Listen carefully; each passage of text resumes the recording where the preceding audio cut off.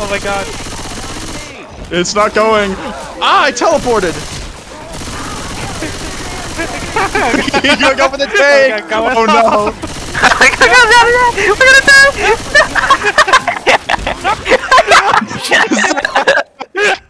I'm dead. Oh no, it's just me.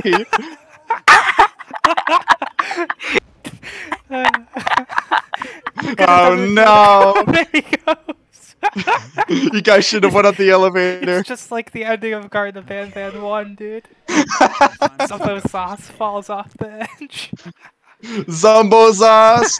Ben Ben. Oh my god, it's a jockey. I'm so fucked.